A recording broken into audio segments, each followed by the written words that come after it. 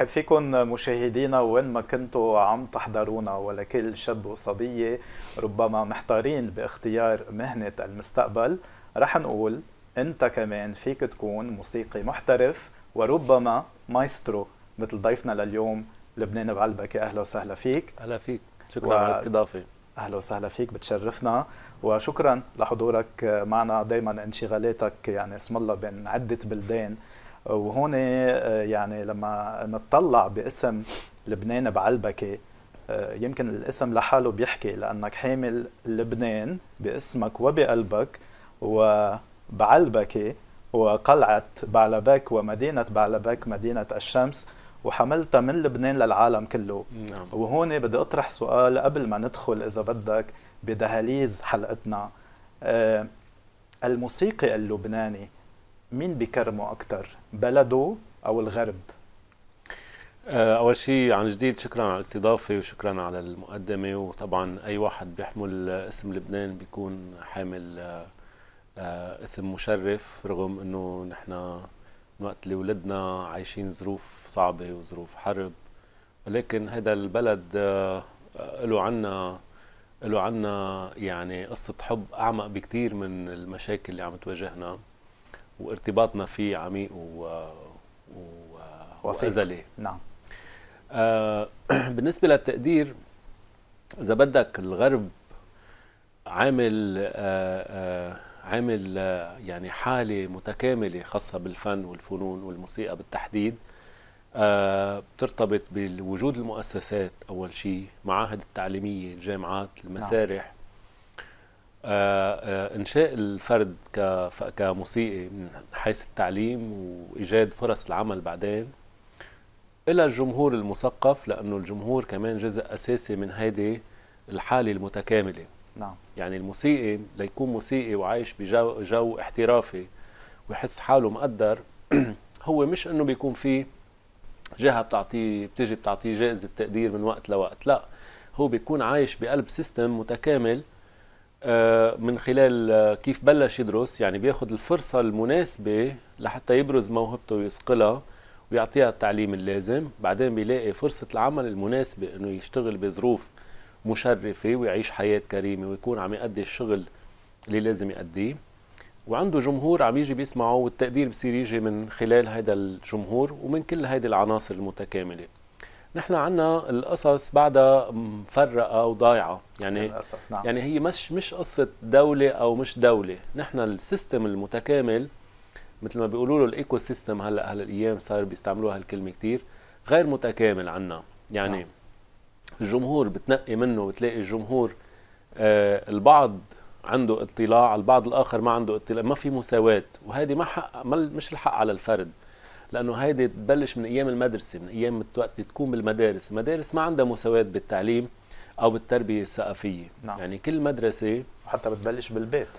أكيد بالبيت. بالتربية أكيد البيتية. شيء أساسي. نعم. بس إنه ما فيك تطلب من البيوت كلهم يكون عندهم نفس ال consistency بالتربية الثقافية. هذه نعم. مفترض تكون بالمناهج التعليمية. المناهج التعليمية لا أساسية المدرسة لأنه المدرسة الفرق إنه بالبيت كل واحد ممكن يكون عنده جو مختلف بالبيت ولكن المدرسة بتوحد الثقافة الاجتماعية والثقافة الفنية إذا بدك بتعطيها بشكل متساوي لكل لكل المواطنين. نعم. هذا الشيء مش موجود عندنا آه آه مايسترو عفوا. أين هي المدارس اليوم من التربية إذا في يقول الموسيقية؟ يعني هل موجودة ببعض المناهج؟ هل هي حكر على بعض المدارس اللي تقدر الفن وبتعتبره جزء من حضارة البلد. يعني آه، لسيما إنه حضرتك بتشتغل كثير خارج لبنان. وين بتلاقي مدارسنا؟ مع احترامنا للجميع. يعني شو هو التوجه؟ هل في تقصير؟ هل في إهمال؟ هل أكيد. هن غير مدركين لأهمية الفن ببلدنا لبنان؟ أكيد أكيد. من ناحية المناهج من ناحية هذا أول شيء عم تحكي عن توحيد المناهج.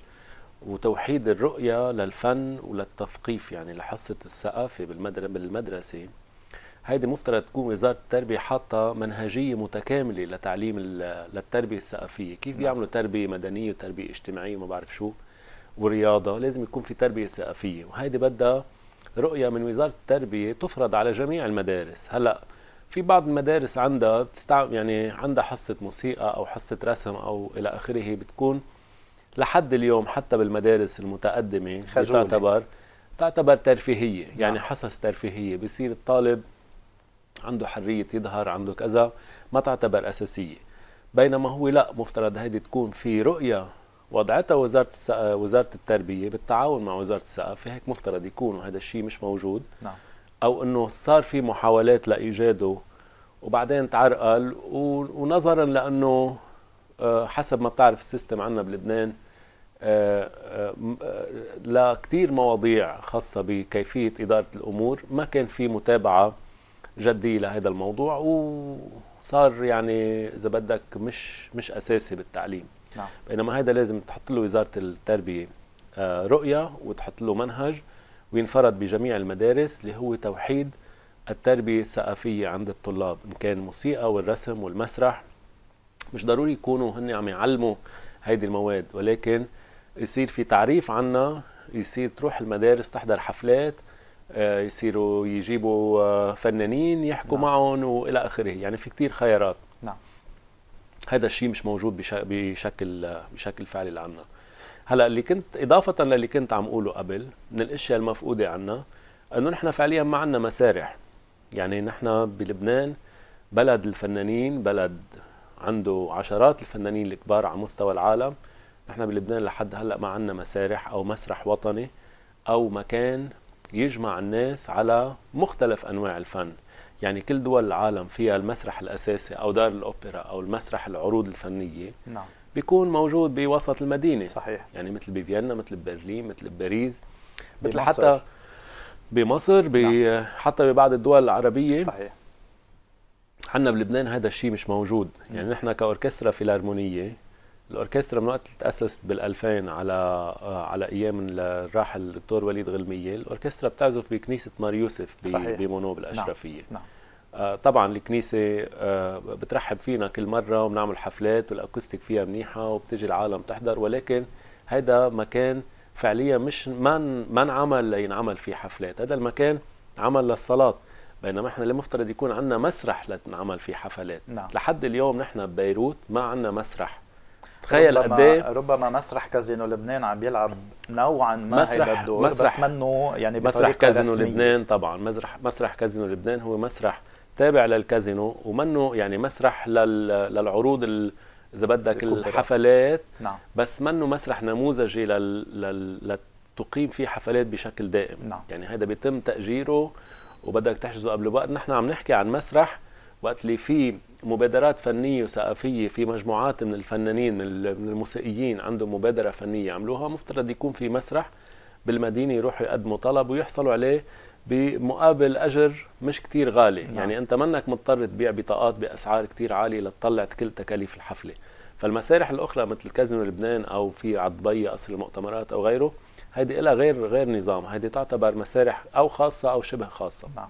نحن عم نحكي عن المسارح الوطنية اللي بتعملها الدولة وبترعاها الدولة فنحن هذا الشيء شوف قد إيه فادح هذا الموضوع إنه بمدينه مثل بيروت أو محيط بيروت بيروت الكبرى ما فيها نعم. مسرح على هذه الطريقة فنحن كل هيدي التركيبة الحلقة هيدي مش متكاملة عنا منشان هيك إيه بالغرب ظروف إنه الفنان اللي عم يعمل شغل جدي ظروفه أكثر بكثير إنه يحس حاله مقدر وإنه ينجح وإنه يوصل وإنه بعد كل عمل يصير يطرح يطمح إنه يعمل عمل متقدم وعمل متطور أكثر نعم.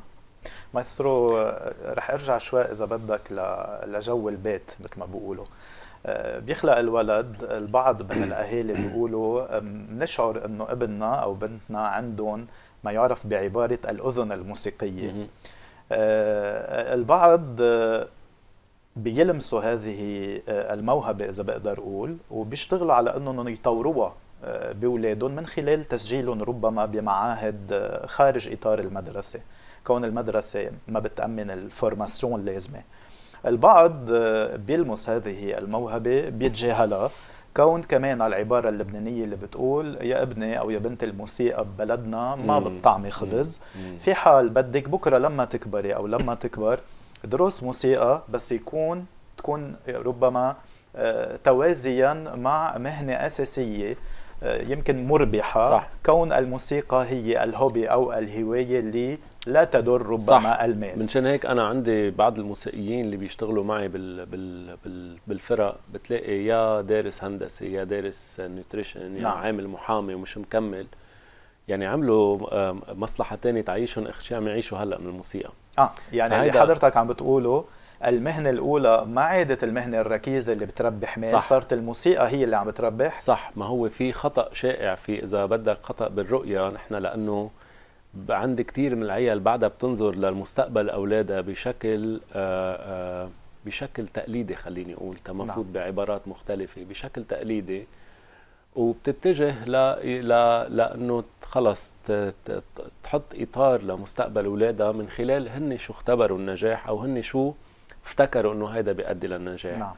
آه فيا بيروح على الهندسة على المحاماة على الطب على إلى آخره نعم. أنا عندي يعني عندي أصحاب موسيقيين آه في بعض منهم دارسين هندسة بعض منهم دارسين محاماة وإلى آخره عم يعيشوا حياتهم عم ينتجوا حياتهم من خلال الموسيقى هلأ هون لأنه كل هيدي العوامل اللي حكينا فيها من من شوي غير موجودة. لذلك المجتمع الفني المجتمع الموسيقي عندنا يعني الفكرة كفكرة متكاملة آه، هيدي خلت إنه ما يكون ما يتحول هيد ما تتحول هيدي المهنة إلى مهنة احترافية بشكل يعترف فيها المجتمع. وإلا هي مهنة احترافية يعني أنا كل الموسيقيين اللي بعرفهم بيسافروا بيعملوا حفلات وعايشين حياة كريمة. ومدبرين حالهم مثلهم مثل أي آه، صاحب مهنة آخر ناجح بمهنته. يعني آه إنه أنا من كل الموسيقيين اللي بعرفهم الموسيقيين عم بحكي المحترفين بيشتغلوا على حالهم طبعا. لأن الموسيقى كمان بدها جهد وبدها تعب وبدها دراسة وبدها تمرين وبدها بدها تفاني بالعمل. النتيجة الحتمية لهذا المسار إذا بتعمله هو نجاح والنجاح باخر شيء بيعيش صاحبه يعني. ففي رؤية إذا بدك خاطئة عنا بالمجتمع عن الموسيقى وعن الفن بشكل عام إنه هيدا ما بيعيش إنه هيدا لا عم يطلع آخر شيء إنه لا في بكثير من المطارح الفنانين أو إنه أصحاب اختصاصات مختلفة. لحسن الحظ تعلموا آلة معينة هلأ عايشين من وراء آلتهم لأنه بمجالات العمل اللي هن افتكروا إنه هيدي بدها تأمن لهم نجاح. ربما في بطالة. في في زحمه كثير كبيرة. نعم. ومش عم يلاقوا فرص عمل نعم. إن كان بالهندسة أو بالمحاماة أو بالطب الطب البديل خاصة النوتريشن أنا كثير شايف موسيقيين دارسينها ك إنه خيار بديل عن الموسيقى. نعم. وآخر شيء ما مارسوها ولا مرة. نعم. أه هلا أنا بس نعم. اختم هذه الفكرة إنه لا الموسيقى هي خيار أساسي لتكون مهنة. هلأ بالإجمال متبع إنه أولاد الموسيقيين بيتعلموا موسيقى بجرأة أكبر لأنه أهلهم بيعرفوا إنه أنه آخر شيء أنا عشت من هالموسيقى وربيت اولادي فرضا نعم. فأنه بربيهم على هذا المجال.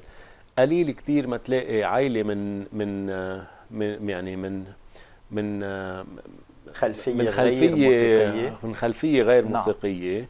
قليل كثير ما تلاقي بيوجهوا أولادهم على الموسيقى أو على الفن. لأنه بدها شوية جرأة.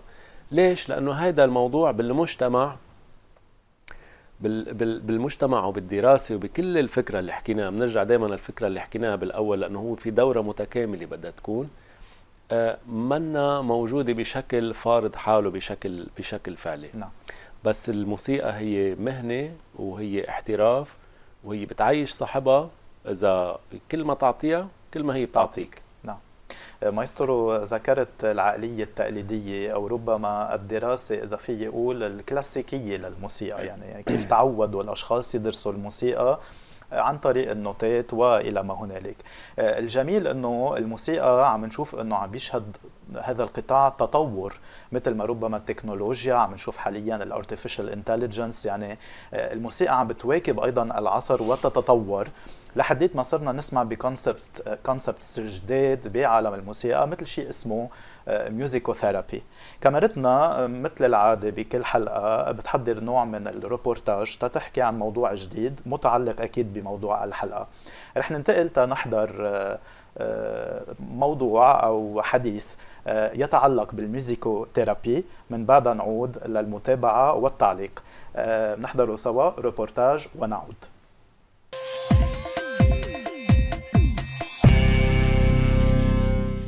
اسمي ميا بديش وأنا معالجة بالموسيقى. رح أحكيكم بشكل مختصر عن الموسيقى. الموسيقى بلشت لما بلش الإنسان على الأرض.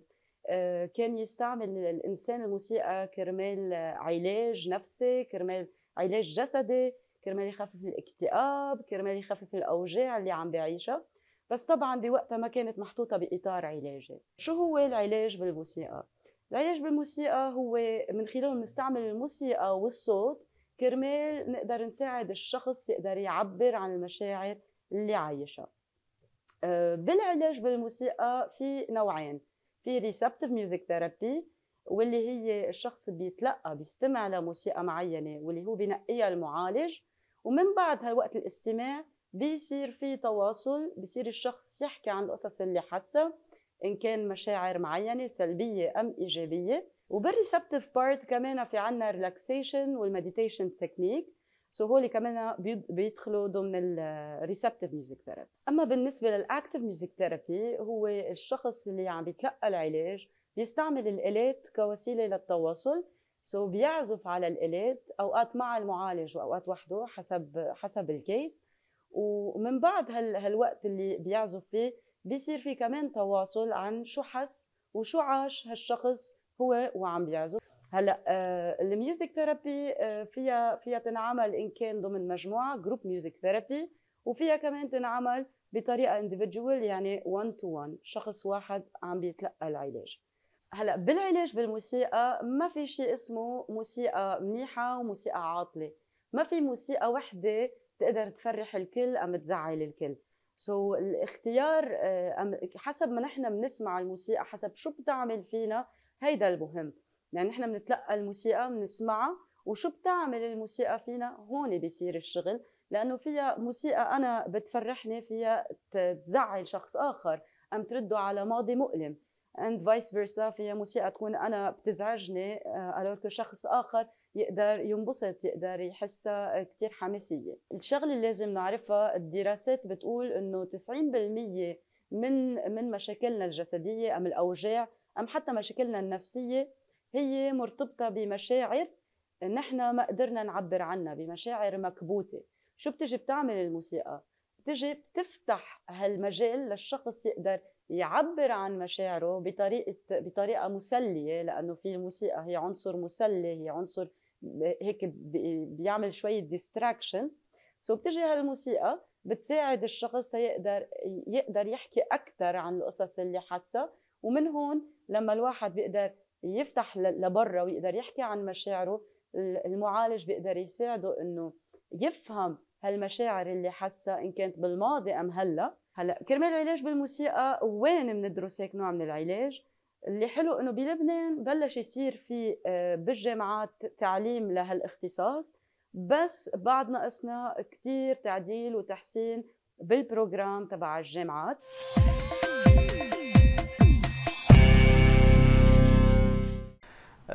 مايسترو آه، شفنا إذا بدك ال musicothérapie باطارها الأكاديمي أو باطارها أيضا الفعال بحياة الإنسان.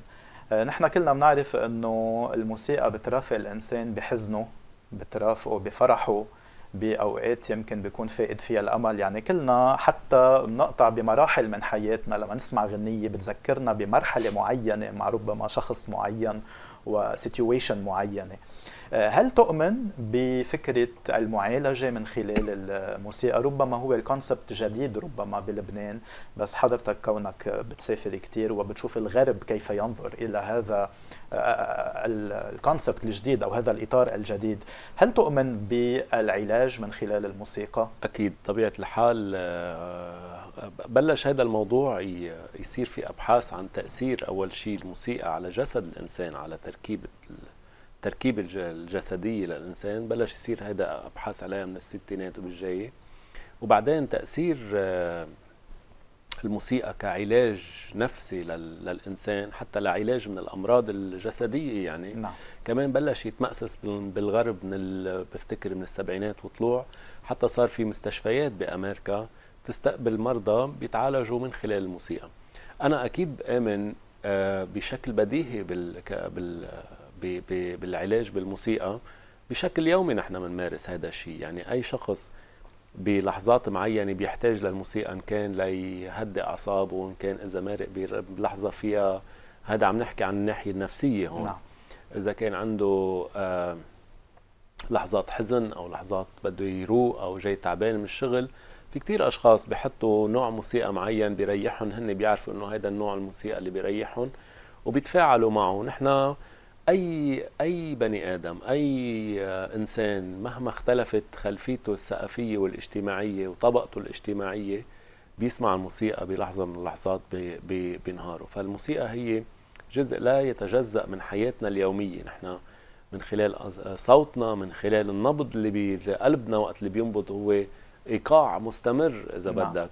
آه أي شخص بيقعد على على البلكون عنده الصبح وبيسمع صوت العصافير هذا كمان عم يستمع للموسيقى أو الست فيروز ف... أي أو نعم. أكيد فيروز آه، يعني إذا بدك آه، بكل بكل منطقتنا هيدي المنطقة بالشرق الأوسط نعم. بيسمعوا فيروز وبيحبوا يسمعوا فيروز فانا أكيد آه، بآمن إنه كلنا بنحتاج لهيدي الموسيقى بلحظة من اللحظات بنتعامل معها كدواء سهل الوصول له لنشفي شيء عنا يا جوا. ولكن بالعلم وبالطب إيه بلش يصير بلش يصير في مأسسة لفكرة استعمال الموسيقى للشفاء من عدد كبير من من الأمراض. نعم.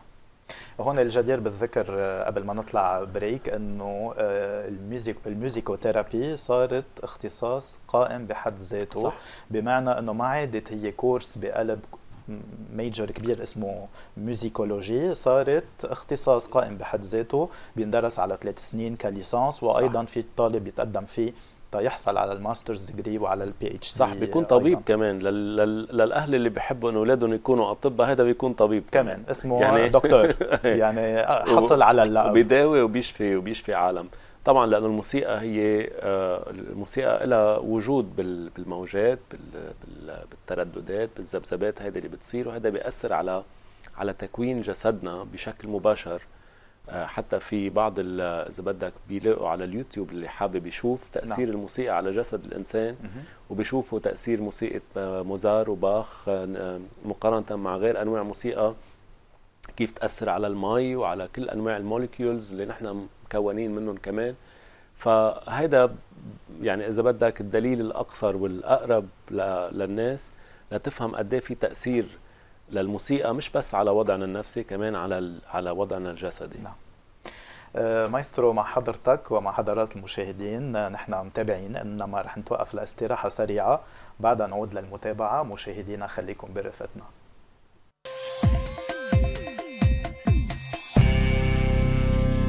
عودة لمتابعة حلقة اليوم دايما مع مايسترو لبنان بعلبكة اللي بنكرر ترحيبنا فيه. أهلا وسهلا فيك مايسترو.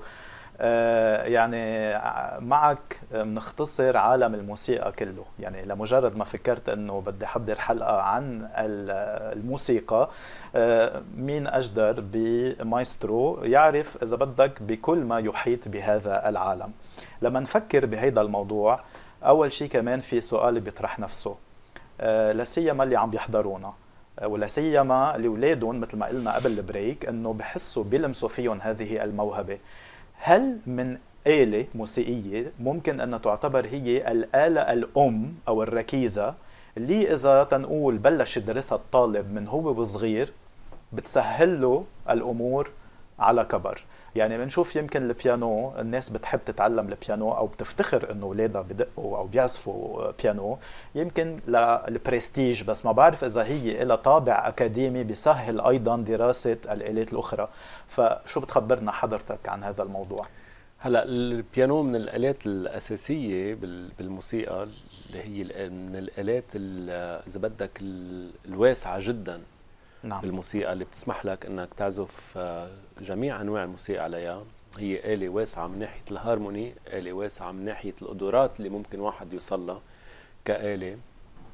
وإذا الشخص بيتعلم آلة البيانو فيه يتجه للكلاسيك في يتجه للجاز فيه يتجه للبوب في دق عربي في فهي آلة واسعة جدا. مشان هيك كثير أيام الناس بتتجه لها. طبعا في بعض الناس كمان بيتجهوا لآلة البيانو إنه منظر البيانو حلو بالبيت. وشو ما كان السبب أنا بشجع حتى لو كان هالقد يعني إذا بدك مبدئي الموضوع هيك يعني بالدرجة الأولى بس حبا لوجود آلة البيانو بالبيت أنا بشجع كمان هذا الشيء. بس هي بس البيانو منه الآلة الركيزة. يعني في شيء آلة هي نقطة الانطلاق. لا لا البيانو من الركائز الأساسية من الركائز. بال... إيه، طبعا. نعم. أي آلة موسيقية آه، هي ركيزة من ركائز الآلات الموسيقية. بس البيانو هي من الركائز الأساسية لأنه البيانو بي مثل ما قلت لك واسع جدا آلة واسعة جدا.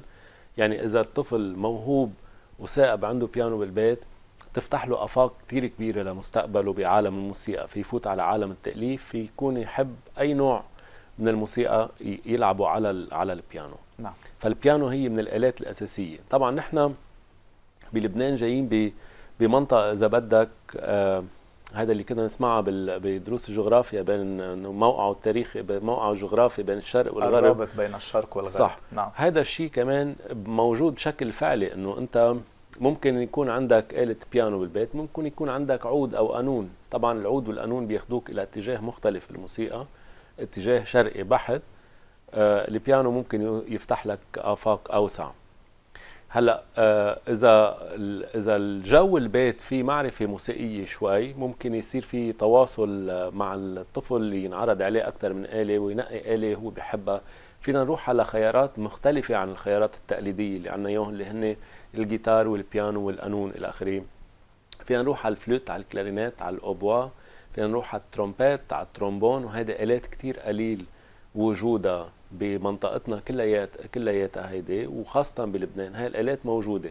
اللي بيتعلم على هيدي الآلة بيكون إذا بدك عنده حظ أكبر إنه يلاقي شغل أكثر نعم. آه لأنه عم عم يتعلم على آلة جديدة مم. على آلة نادرة نعم. بالمنطقة. وبرجع بقول الترومبيت ترومبون ال French هو ال English وال French horn الاوبوا الكلارينات الباسون والفلوت.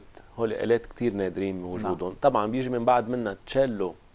آلة كثير حلوة. وكمان آلة من الآلات اللي بين مع هاوسر أكثر شيء. صح. نعم. اللي بينعزف عليها آه، غربي ونعزف عليها شرقي. وهي من الآلات اللي إذا عم نحكي بشكل آه، آه، بشكل عملاني إذا بدك الآلة هيدي الإنسان اللي بيتعلمها بيكون عنده فرصة كتير كبيرة إنه يصير يلاقي شغل ويروح حفلات ويسافر ويطلع مصاري منها. نعم. آلة الفيولا نفس الشيء. طبعا الفيولون موجودة والناس كلها بتعرفها آلة الكمان.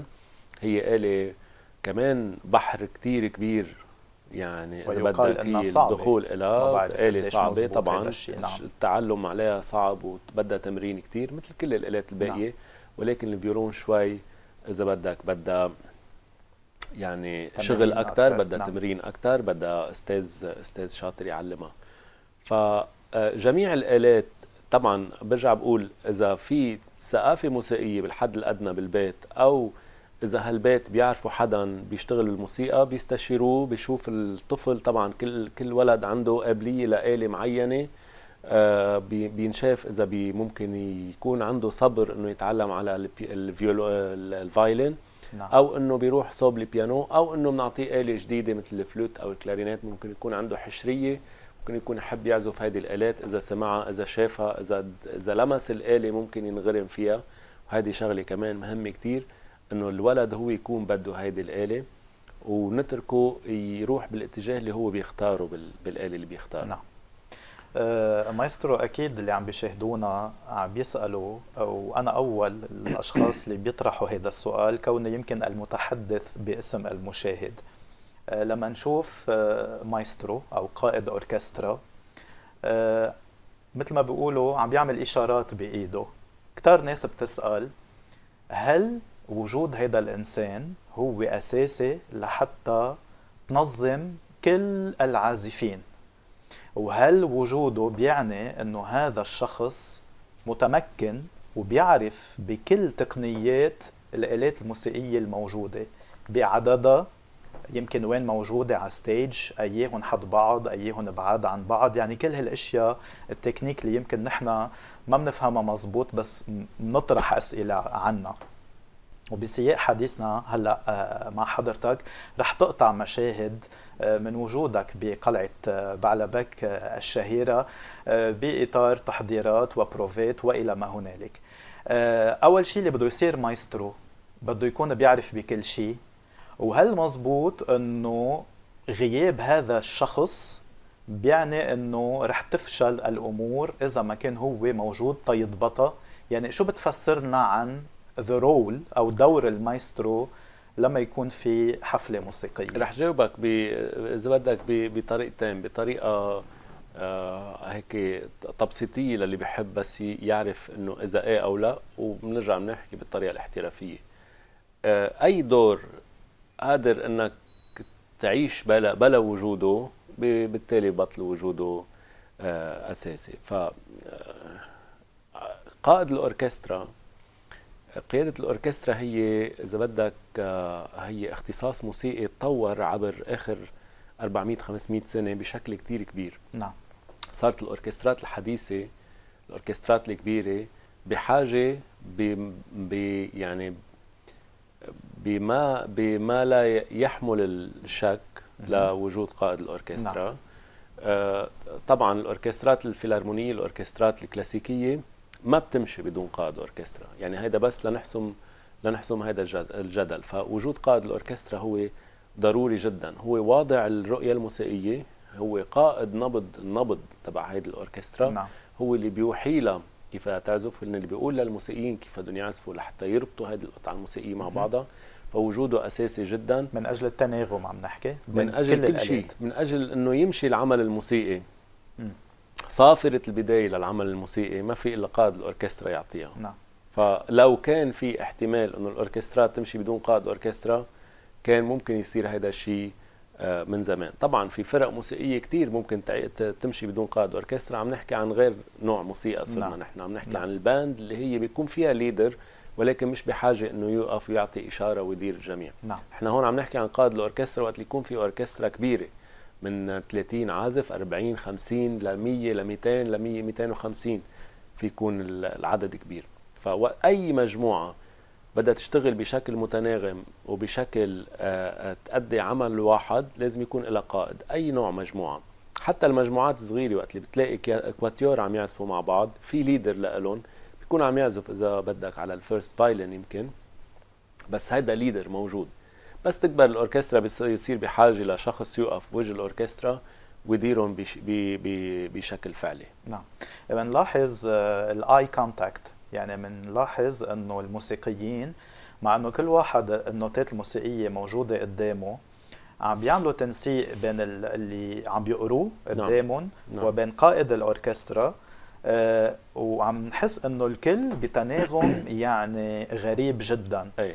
آه، كيف بتصير هيدي؟ يعني هيدي السينرجي بينك وبينهم بتفهم عليهم وبيفهموا عليك وخاصة إذا في مطرب أو مطربة بنشوف أيضا بالصور يعني اللي بي آه، بفوت مثلا تيشوف موقعك على مواقع التواصل الاجتماعي دائما بلاحظ صور عينك على المطربة وعين المطربة عليك مم. يعني هذا. التناغم الموجود كيف بنفسره هيك بطريقة رح قلك سهلة. الناس الناس آه، بتفترض أحيانا إنه إذا في قائد أوركسترا عم يحرك إيديه قدام الأوركسترا والموسيقي حاطط قدامه النوتات بتفترض إنه إنه إذا قائد الأوركسترا علق إيده هيك الموسيقي بدق شيء وإذا وطى إيده هيك نعم. بدق شيء هذا منه صحيح والموسيقى ما بتمشي بهذا الشكل. أول شيء الموسيقي عنده ال part اللي بيعزفها هو يعني كل آلة بتعزف part معين الموسيقي بيكون عنده ال part حسب الآلة اللي عم يعزفها. نعم. الموسيقي ال contact بين قائد الأوركسترا والموسيقي ما بتصير إنه يتطلع فيه ويلحق إيده وين صارت طلعت نتفه نزلت منه هيك الموضوع. هو مثل ما قلت تناغم بيصير حتى أنا ويعني أنا عم عم بتطلع فيك هلأ بهاللحظة بكون إيش شو عم بيصير بدرجة معينة من ال من ال من ال شو بيشوف الإنسان.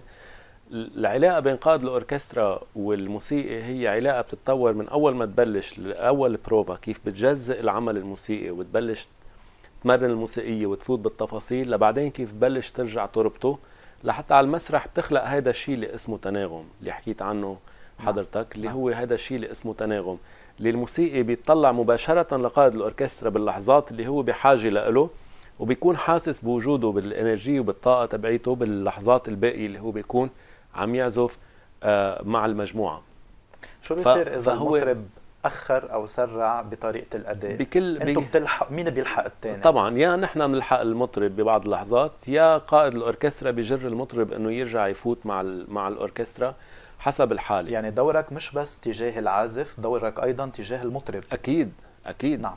أكيد دوري تجاه العازف وتجاه المطرب. يعني قائد الأوركسترا هو اللي بيجمع كل هذه العناصر مع بعضها وبيخلي إنه يكون ماشي على على نفس النبض بشكل مستمر. إذا بيصير أي شيء بده يكون عندك ردة فعل كتير سريعة لأنه لحتى تقدر ترجع تربط القصص مع بعضها نعم. فالموسيقي اللي موجود بهيدي الأوركسترا أكيد هو بيعتمد على قائد الأوركسترا بكتير لحظات من خلال هذا العمل الموسيقي اللي عم يأديه ولكن هو كمان موجود بقلب أوركسترا عم يسمع شو عم بيصير عند القانون عند الناي عند الكمان عند التشيلو عم يسمع كل هيدي الآلات لأنه نحن خلال التمارين بنجيب العمل الموسيقي وبنجزئه بصير كل آلة معروف شو عم تعزف بنرجع بنبلش نربطه مع بعضه بنعمل له إذا بدك رؤية موسيقية هيك انسيابية بشكل إنه أنت بقى تطلع على المسرح تأدي العمل تسمع المستمع بيسمع العمل بانسجام مطلق بانسجام تام وهذه بتكون براعة قائد الأوركسترا نعم. إنه يوصل العمل الموسيقي للمستمع بأعلى مستويات الانسجام فهي عملية منا بسيطة عملية معقدة جدا مشان هيك اختصاص قيادة الأوركسترا يعتبر من أصعب اختصاصات الموسيقية اللي هو بيشبه الطب إذا بدك. يعني يعني أنا درست عملت خمس سنين دبلوم وسنتين masters وخمس سنين دكتوراه عندك 12 سنة دراسة يعني. نعم. غير الخبرة وال master classes اللي بتعملهم والحفلات والتجارب يعني كأنك طبيب مع اختصاص. 100% نعم. إيه. فإنه من الاختصاصات الصعبة لأنه أنت عم تشتغل أول شيء على عنصر موسيقي. فعلي موجود قدامك تشتغل عليه بالتحليل وعم تشتغل بعد على قصص حتى أيام قائد الأوركسترا ما بيكون يعني بتوصل لمرحلة كتير متقدمة بشغلك بيكون بعد في قصص أسرار أنت ما بتفهمها. يعني ما بتفهم هالفينومين شو هو هذا الشيء لأنه أنا بس أتنفس بهالطريقة الموسيقي بيعطيني نتيجة مختلفة عن إنه أعطيه الإشارة بشكل مختلف. وأنا هيدي يعني مجربها وعايشها أكثر من مرة. إنه اكون عم بشتغل بالتمارين يطلع صوت معين من الأوركسترا قالوا لا خلينا نعيد بهالشكل. الحقوا ال gesture أعطي ال gesture بشكل, بشكل مختلف يطلع الصوت مختلف. نعم. هذا ال phénomène نحن ما بنفهمه بشكل ما فيني أشرح لك إياه بشكل بشكل فعلي شو اللي بيصير. ولكن هذا الترابط بين البشر هيدي الطاقات اللي بتجتمع.